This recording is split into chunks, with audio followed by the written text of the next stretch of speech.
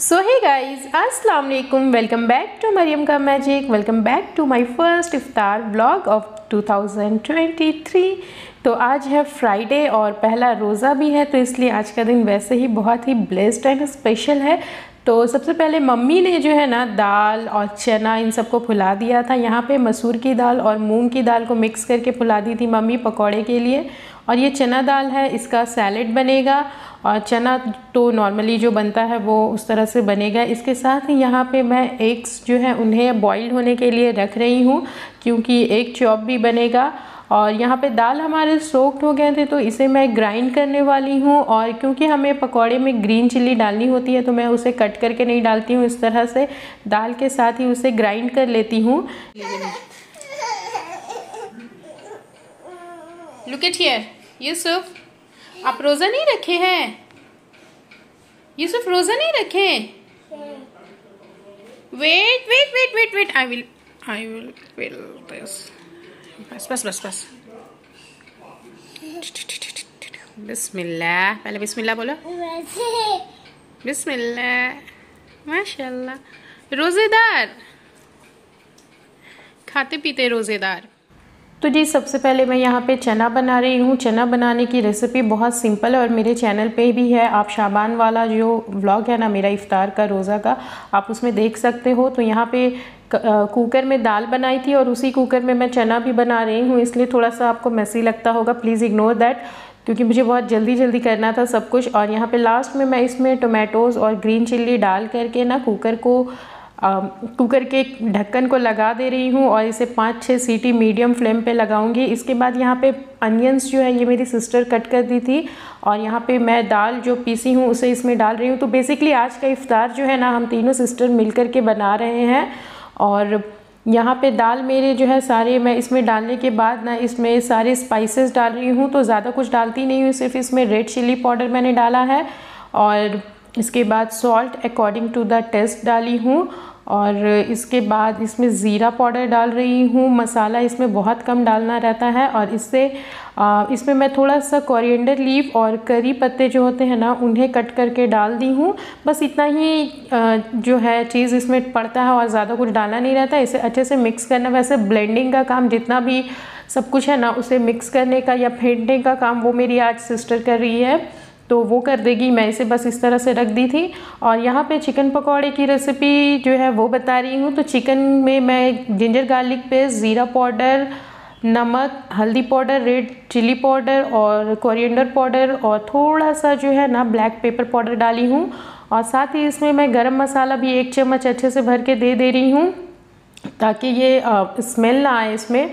और इसके बाद इसमें प्याज कट करके डाली हूँ और ग्रीन चिल्ली चॉपिंग का काम तो बेसिकली मेरी दोनों सिस्टर ही कर रही थी तो वो उसने कट करके दे दिया था। और यहाँ पे मैं चाट मसाला इसमें दो चम्मच डाल रही हूँ।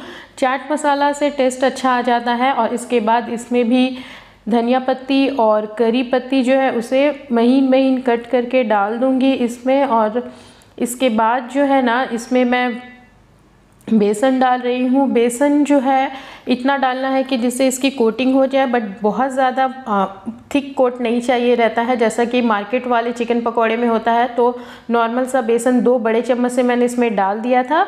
और यहाँ पे एक पकौड़े के लिए बेसन ली हूँ, उसमें हल्दी पाउडर रेड चिल्ली पाउडर थोड़ा जल्दी जल्दी डाल रही थी, इसलिए साइड से गिर भी गया। और इसके बाद ज़ीरा पाउडर और थोड़ी सी गोलकी पाउडर इसमें डाली हूँ, साथ ही नमक डाल रही हूँ, टेस्ट के अकॉर्डिंग इसमें डालना है। और थोड़ा सा बेकिंग पाउडर जो होता है ना, baking soda, sorry, baking soda, जो खाने वाला मीठा सोडा होता है, वो मैं डाली हूँ दो चुटकी के करीब।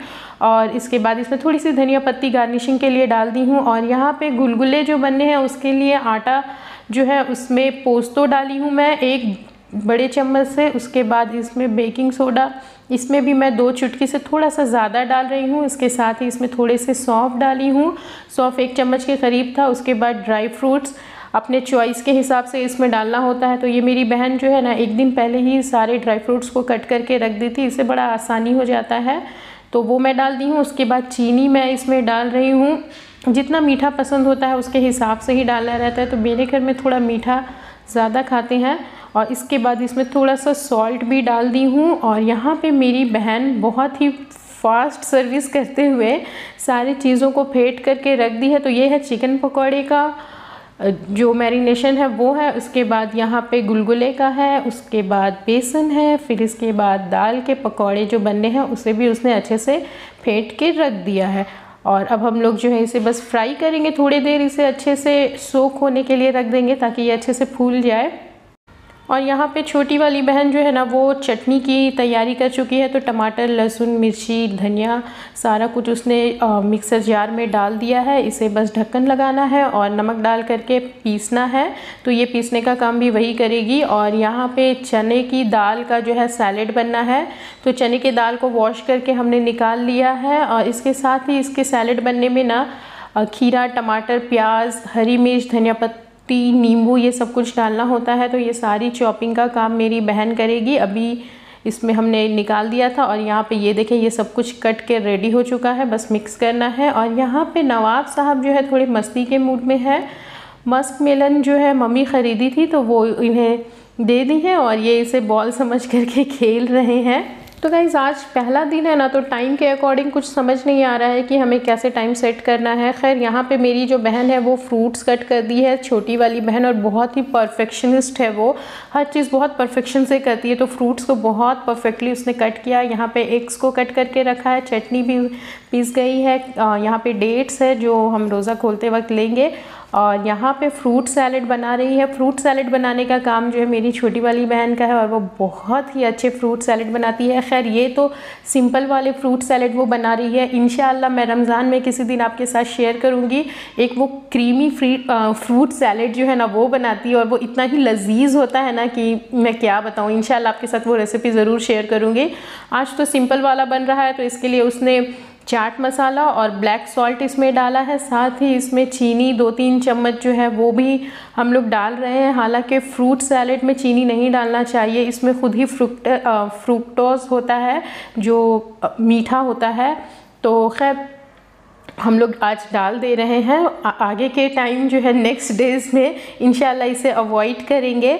और फ्रूट्स वैसे सीजनल है तो सारे ही अच्छे थे और इसके बाद यहाँ पे फ्राई का जो भी चीज़ें हैं ना, उसे फ्राई करने का काम था। तो मुझे थोड़ा सा कुछ काम था, मैं लेट हो गई तो मेरी बहन जो है, वो शुरू कर दी थी गुलगुले फ्राई करना। इसके बाद मैंने आकर के कमान संभाला और मैं ले ली थी उससे चम्मच और यहाँ पे मैं पकौड़े फ्राई कर रही हूँ। गुलगुले हमारे लगभग छन गए थे तो इसके बाद मैं पकौड़े फ्राई कर रही हूँ और इतना बड़ा सा आपको जो ये कढ़ाई दिख रहा है ना, ये इसलिए कि हमारे यहाँ अल्हम्दुलिल्लाह कम से कम 10-12 लोगों का इफ़ार जो है वो बनता है। और अब जो है मैं यहाँ पे एक चॉप बना रही हूँ। दस बारह लोगों का इफ़ार इसलिए बनता है कि अल्हम्दुलिल्लाह मेरी फैमिली भी बड़ी है और कुछ एक्स्ट्रा लोगों को भी शामिल करते हैं। अब मैं बहुत ज़्यादा तो मेंशन नहीं करूँगी ये कि किन लोगों को शामिल करते हैं और किसे देते हैं। ये हमारी जो पर्सनल चीज़ें होती है, जो भी नेकी के काम है तो इसे बहुत ज़्यादा नहीं मैं यहाँ पे मेंशन करना चाहती हूँ।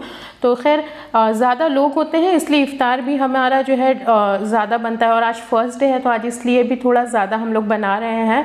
पहला दिन थोड़ा ज़्यादा एक्साइटमेंट भी रहता है और और लगता है कि बहुत कुछ खा लेंगे हम लोग फ़र्स्ट डे खैर, यहाँ पे अब मैं चिकन पकौड़ा जो है ना, इसे फ्राई कर रही हूँ और इसमें थोड़ा ज़्यादा टाइम लगता है। इसे फ्राई करते करते लेट होने लगा था और अब मैं लास्ट प्लेट जो है वो ला कर करके दस्तखान पे रख रही हूँ और ये जो दस्तखान देख रहे हो ना, आप इतना परफेक्टली से परफेक्शन से जो रखा हुआ है, ये मेरी बहन जो है वो की है और बहुत ही बेहतरीन तरीके से उसने सेट किया था। अल्हम्दुलिल्लाह, बहुत अच्छे से हो गया था। अल्लाह सबके घर में खैर बरकत दे और सबका रमज़ान, पूरा पूरा रमज़ान अच्छे से गुज़रे। और आप सबको रमज़ान मुबारक हो और दुआ में मुझे याद रखें। मिलती हूँ आपसे अगली वीडियो में। अल्लाह हाफिज़।